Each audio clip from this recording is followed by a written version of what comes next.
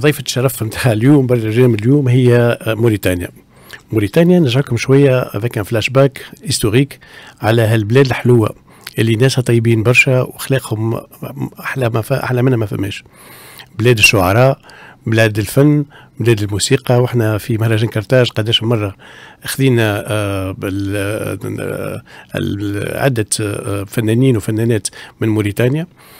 واليوم باش نحكي لكم على كيفاش خلقت موريتانيا. يعني هل كانت موجودة دولة من قبل اسمها موريتانيا ولا هي تصنع صنعان؟ ما تصنع صنعان لأنه ما كانش فما حاجة اسمها موريتانيا قبل. آه فرنسا في القرن التاسع عشر حاولت تمد الهيمنة نتاعها على عده بلدان في إفريقيا وخاصة في شمال وغرب إفريقيا. وهذا بعد الاجتماع الكبير المؤتمر الكبير اللي صار في برلين اللي تقسموا فيه القوات الأوروبية الكل. ما بيناتهم افريقيا كما خبز الكعكة الكعكة نتاع الجاتو اللي قسموها كل في بعضهم. فرنسا جا دورها آه، بيها في شمال إفريقيا وبعد ما حطت يدها على الجزائر وحطت بيدها على تونس حبت زادة تستحوذ على آه، السنغال وخذت السنغال. ومن بعد استحوذت على السنغال حاولت تاخذ المنطقة اللي شمال السنغال. شمال السنغال كان فيها نوعين من الناس اللي يسكنوا فيها كانوا اسمه عيتولو آه، تراب البيذان تراب البيذان يعني ناس اللي هما آه، قشرتهم بيضة أكثر آه، من الآخرين.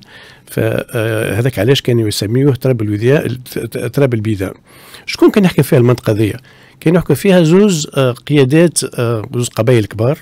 على قيادتهم واحد اسمه سيدي بابا والآخر اسمه سعد بو.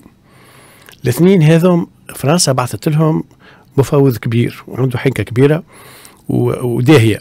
داهية نتاع السياسة اللي هو دخل معاهم على أساس أنه إحنا تو معاكم وباش نقويكم وباش نعطيكم إمكانيات وأخرجوا من سيطرة نتاع السنغال.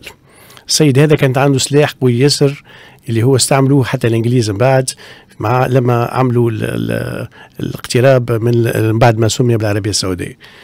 آه كما عملوا Lawrence d'Arabie بعثت فرنسا شخصية هامة ياسر اسمها Xavier Coppolani Xavier Coppolani توفى تولد 1866 وتولد في 1905 الشخص هذا هو اللي مشى فاوض مع سيدي بابا وسعد بو ووصل معهم باتفاق انهم القبائل نتاعهم تخرج على السنغال. لأنه تذكروا أن فما السنغال فما واد في شمال السنغال اللي هو آه، يفرق ما بين ما يدعى السنغال وما يدعى اليوم بموريتانيا. ما كانتش وقتها موريتانيا. donc جات فرنسا وجات ال partie اللي فوق اللي فوق الواد وقالت لهم اخرجوا على السنغال وإحنا ندعموكم.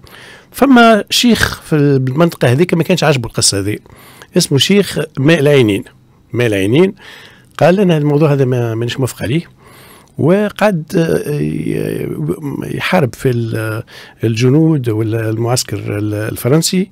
حتى لين صارت فما عملية اقتتال اللي تمكن فيها باش يقتل الكولونيل اونري آه، عفوا آه، Xavier Coppolani Xavier Coppolani اذا توفى في 1905 12 ماي بالضبط. بعد ما توفى Xavier Coppolani شنو اللي صار؟ فرنسا قالت هذوما الناس ما يفهمش معهم ما يمشيش معهم التفاوض.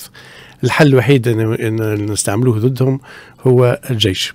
بعثوا كولونيل هنري غورو 1908 اللي هو آه، عمل آه، حتى مجموعة من الجيوش آه، اللي تمكنت باش تسيطر على الوضع.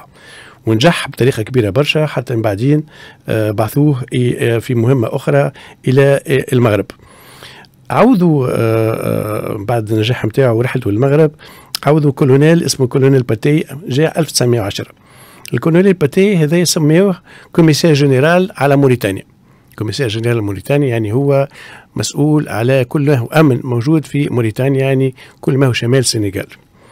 السيد هذايا قرر أنه باش يغير التكتيك نتاعو كيفاش يحارب الجماعة اللي هما في آه، آه، في المقاومة.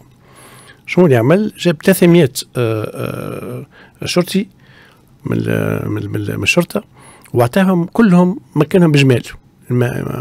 والجمال هذه خلتهم يتحركوا بأسهل بطريقة أسهل في في الصحراء بتاع آه، موريتانيا. وهذا خلته باش نجم بسهولة يتمكن باش يتغلب على المقاومة الموريتانية ووصل حتى أنه قتل آه، وعزل آه، شيخ مال عينين وتمكن هذاك من من وقتها أنه فرنسا باش تحط يدها بصفة نهائية على موريتانيا حتى لين بعد جاء الاستقلال نتاع موريتانيا.